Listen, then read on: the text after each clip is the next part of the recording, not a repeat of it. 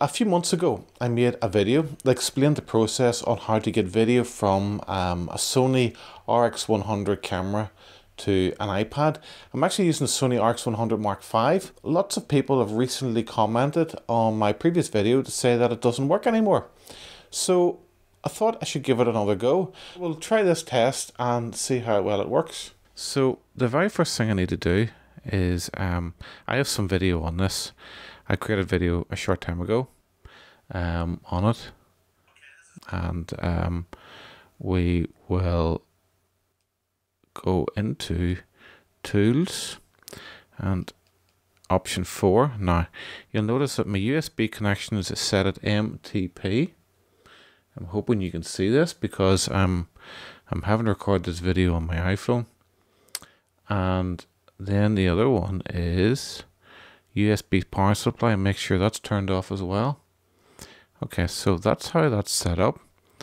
And then I need to get my um, my cables. First of all, I have my micro USB cable. And then I also have this here, which is just a USB 2 to lightning. So I'll plug that in. And I'm hoping now if I plug this into the iPad, the iPad will come alive and um, see my video. Goes into USB mode. iPad comes up and sees my video. I pick the one I want. It's the only one there is. I press import.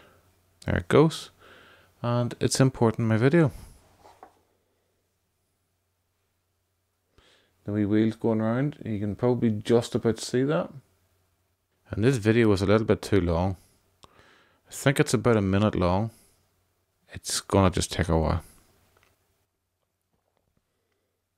Okay, it is now completed. Let's disconnect this. And we will play the video. Okay, this is a little bit of test video that... Uh... There we go, that worked. And you can see there's plenty of it. Um, and it, it's all there. So it worked really well.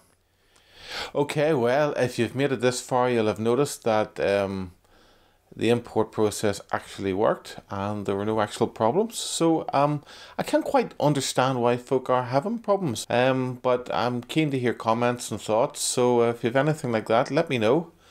Um, put them in the comments and um, thanks for watching.